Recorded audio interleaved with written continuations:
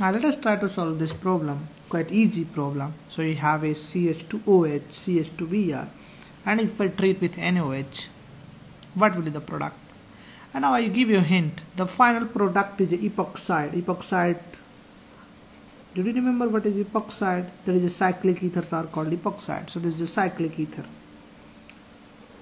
So I will give you a hint, that is a, the final product is a cyclic ether. So derive the product using this idea you derive the product.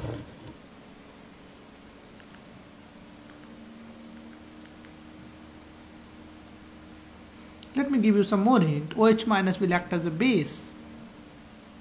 It will take H plus. And now you have a nucleophile it can do intramolecular SN2 reaction. So the first step is acid base and second step is intramolecular SN2 reaction now you can write to the product. I think all of you can write now. First step is acid base second step is intramolecular SN2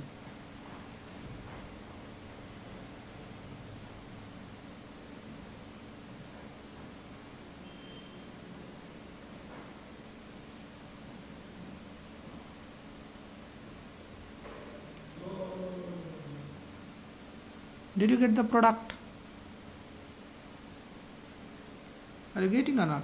So first step is uh, take H plus, make a nucleophile, attack, leave Br. Okay, I think all of you have done. So let us see the solution. What we can do in this case is, so this is your CH2, CH2OH. First step, it can take H plus, this goes here. So you will have O minus.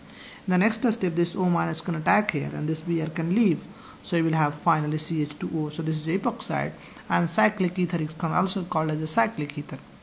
So the first step you can copy those who are not able to understand. So let us copy. Please copy fast. I have to do one more problem of the same kind. So let us do those who have done this one. Let us do this problem. What will be the product in this case? Those who have done this one. Now the same thing the same reaction the top we have done the same question we have in the bottom. Same thing. Everything is same. Now OH minus is again act as a base. It will take H plus from NH2 and you make NH minus and then you do uh, intramolecular attack. So this reaction is intramolecular attack because this O minus is a nucleophile attacking on the same molecule. So this is intramolecular reaction SN2 kind of reaction. This attacks this goes. So this is SN2 and this is happening inside the molecule and that's why this is intramolecular.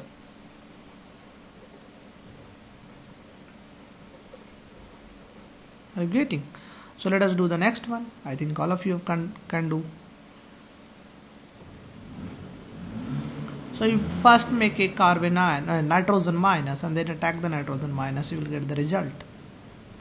You will have a 5 member ring so have you done or not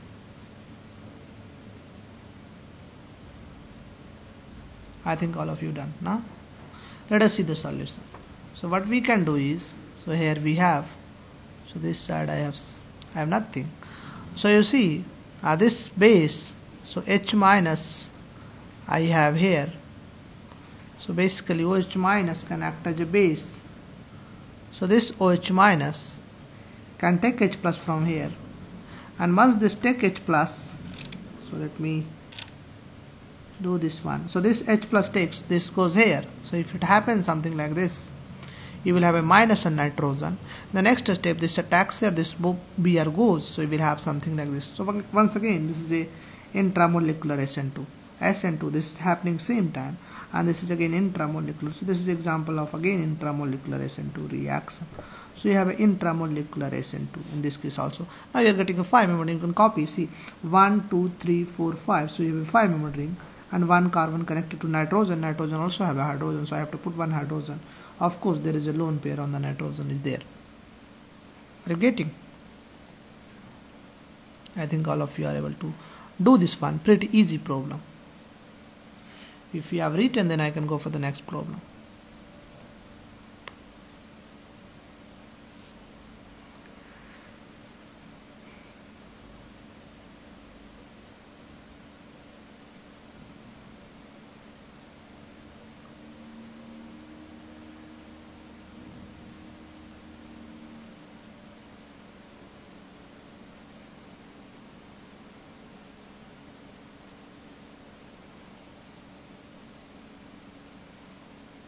okay let us discuss the next problem. I think all of you have copied this one.